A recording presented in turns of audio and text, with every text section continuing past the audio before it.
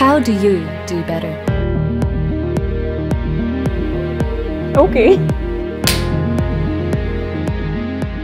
Ah, how do I define beauty? I think beauty is one of the most subjective things in the world. It lays in the eyes of the beholder. And I love the idea that Zalando will help to like encourage and embrace the fact that anybody can really wear whatever they want and we're going to help you find that. Well, in the last two years since I've started Zalando, our main focus has been on creating a better representation of our customer on the website. In diverse models, we focus obviously on race, on age, on gender, on culture, and of course also on beauty, inclusivity, and on ability. We've increased our diversity in the model pool from 30% to 70%, making us one of the most diverse retailers in Germany and also in Europe, which I'm so proud about. There is no diversity without inclusion. Inclusive is like, you know, thinking about every aspect of the things, every human, you know, on the worldwide.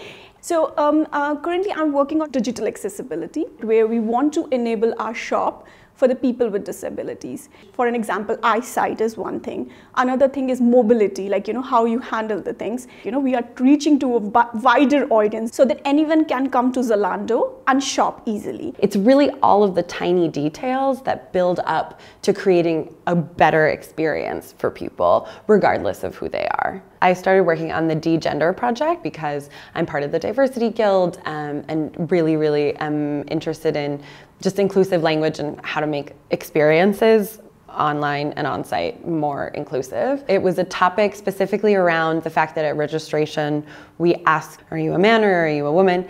And we only have two options for you to respond. So ultimately what we decided instead of asking people what their gender was, we wanted to ask them what their fashion preference was. I mean, I, you know, I'm part of the LGBTQ community. I have a very expansive view on what it means for people to get to express themselves in general, myself included.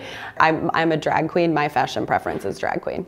Well, I do honestly think like the last months have been an eye-opener for many people and I'm really, really excited about the future um, of Zalando because I think that we will be a major part in creating a more diverse and inclusive society.